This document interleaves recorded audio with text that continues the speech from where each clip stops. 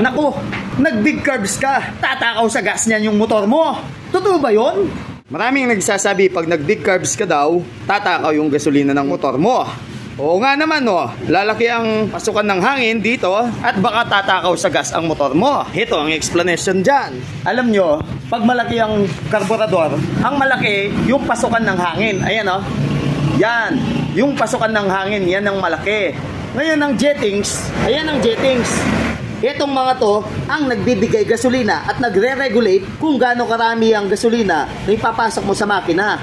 Ayan, iba't ibang uri ng size ang jettings. Meron tayong slow jet na nagmamanage sa low RPM or minor hanggang sa 1 port hanggang half na rev. Ngayon, yung 1 port to full rev, ito naman ang nagmamanage itong main jet. Ngayon, pwede mong palitan ng mas malaking jettings ito para tumakaw siya ng gas. Pati ito. Ngayon, meron kang maliit na karburador. Tapos pinalitan mo naman ng jettings na malaki, yun ang matakaw sa gas. Hindi porket naglaki ka ng carb, ay tatakaw na kagad sa gasolina ang yung motor. Depende yon sa laki ng jettings. At hindi rin porket pinalaki mo yung jettings at tumakaw sa gas ang motor, eh lalakas na. Tamang tono is the key. Parang same ng tao. Pag sobra sa kain, tataba lang. Hindi lalakas. Magkakaproblema ka pa sa kalusugan. Ganun din sa motor. At sana meron kayong natutunan.